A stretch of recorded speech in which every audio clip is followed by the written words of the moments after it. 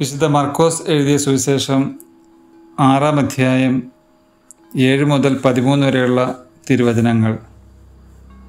അവൻ ഗ്രാമപ്രദേശങ്ങളിൽ ചുറ്റി സഞ്ചരിച്ച് പഠിപ്പിച്ചുകൊണ്ടിരുന്നു.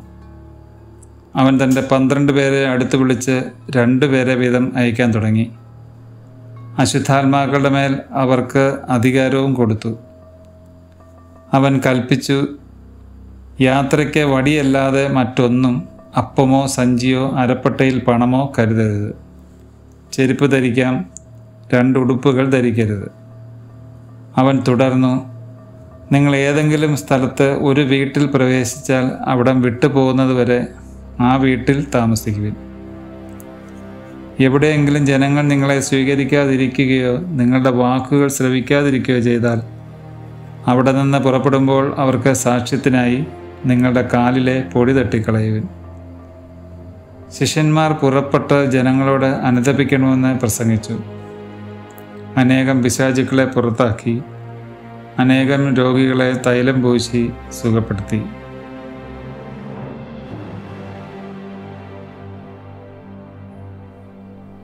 ശിഷ്യന്മാരെ യേശു കൂടെ കൊണ്ട് നടന്ന് മനുഷ്യരെ പിടിക്കേണ്ടത് എങ്ങനെയെന്ന് തന്റെ ജീവിതത്തിലൂടെ കാട്ടിക്കൊടുക്കുന്നു.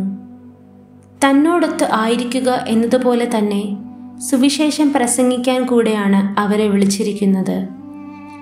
യേശുനാമത്തിൽ രണ്ടു പേർ ഒന്നിച്ചു കൂടുമ്പോൾ അത് ക്രിസ്തീയ സമൂഹത്തിന്റെ ഏറ്റവും ചെറിയ പതിപ്പായി മാറുന്നു. ഒരുവനിലുള്ള പിശാചിനെയും മറ്റ് അശുദ്ധിയെയും പുറത്താക്കിയെങ്കിൽ മാത്രമേ ദൈവത്തിന് വസിക്കുവാൻ അനുയോജ്യമായ ഭവനമായി അത് രൂപപ്പെടുത്താൻ സാധിക്കൂ. ഇനിയും തന്റെ ശിഷ്യർ എന്താണ് കയ്യിൽ കരുതേണ്ടതെന്ന് അവിടുന്ന് കൃത്യമായി പറയുന്നുണ്ട്. നടക്കുന്നതിനുള്ള സഹായം എന്നതുപോലെ അധികാരത്തിന്റെ അടയാളമാണ് വടി. സഞ്ചി കരുതരുതെന്ന് പറയുമ്പോൾ മറ്റുള്ളവരിൽ നിന്നും ആവശ്യത്തിലധികമായതൊന്നും സ്വീകരിക്കാനും തുനിയരുതെന്ന സന്ദേശവും അതിൽ ഉൾക്കൊണ്ടിട്ടുണ്ട്. സ്നാപകന്റേതുപോലെയുള്ള സന്യാസ തുല്യ ലളിത ജീവിതമാണ് യേശു തന്റെ ശിഷ്യന്മാരിൽ നിന്നും പ്രതീക്ഷിക്കുന്നത്.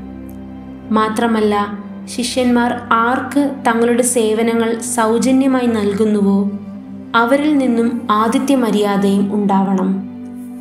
ഈ ലളിത ജീവിതം ലക്ഷ്യം വയ്ക്കുന്നത് ശിഷ്യന്മാർ വ്യക്തി താൽപ്പര്യ സംരക്ഷണത്തിനോ ഭൗതിക നേട്ടങ്ങൾക്കോ വേണ്ടി നിലകൊള്ളാതെ ക്രിസ്തുവിന്റെ സുവിശേഷ പ്രഘോഷണത്തിനായി തങ്ങളെ തന്നെ വിട്ടുകൊടുക്കുക എന്നതാണ്. ക്രിസ്തുവിന്റെ സന്ദേശം മടുപ്പുകൂടാതെ പ്രഘോഷിക്കുന്ന ഉത്തമ ശിഷ്യരായി നമുക്കും മാറാം.